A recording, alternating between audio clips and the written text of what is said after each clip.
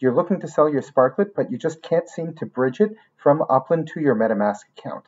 I'm going to tell you why that's happening. If you obtain Sparklet within Upland, you can't just bridge it to your MetaMask wallet immediately. If you want to learn more about Sparklet in the metaverse, make sure to check out our introductory course, which covers everything from the utility of Sparklet to what types of players need it, the tokenomics of the token, as well as how to export it from Upland into your MetaMask wallet. I'm YK2012, founder of the Upland Guide. I'm here to unlock the secrets of the Upland metaverse. On this channel, you can find everything you need to build your Upland empire expert tutorials, winning strategies, pro tips and tricks, and a lot more hit that subscribe button and ring that notification bell to stay ahead of the game. Remember, knowledge is power, and in the Upland metaverse, that knowledge is truly your most valuable asset.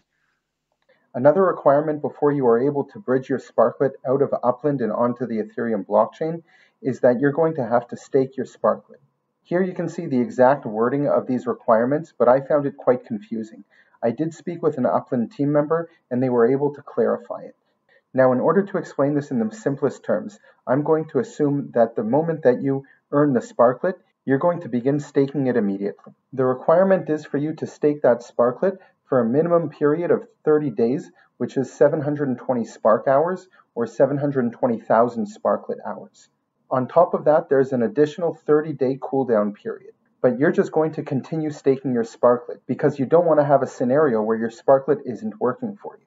Now let's say what happens after you've finished completing your structure after 10 days of that 30 day period. It's okay that it's idle. It doesn't have to be continuously staked, but you do have to stake it for a period of 30 days within a 90 day window. So let's say you found a spark treasure while treasure hunting in Upland and you got 200 sparklet.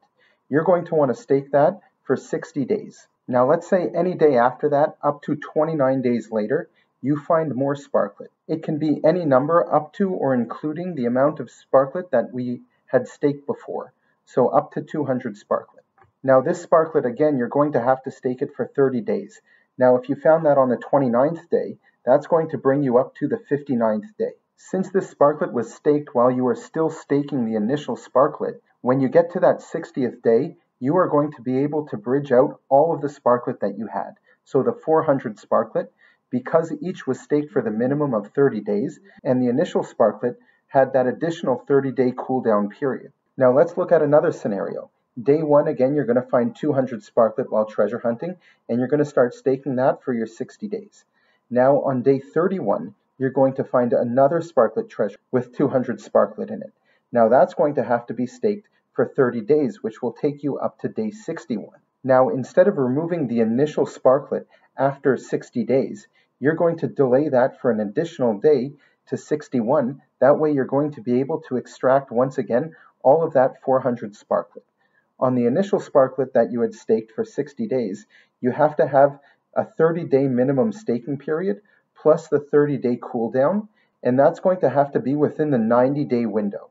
So leaving it in for an extra day to bring it up to 61 days is going to save you that cooldown period on the sparklet that you earned from that second treasure. Now to clarify once again, this requirement is only for sparklet which was earned within the Upland metaverse. If you had bridged any amount of sparklet into Upland, you are free to take that out without this restriction. Learn more about Sparklet in the link in the description below and continue watching these videos. If you have any questions, leave a comment and make sure to hit like and subscribe.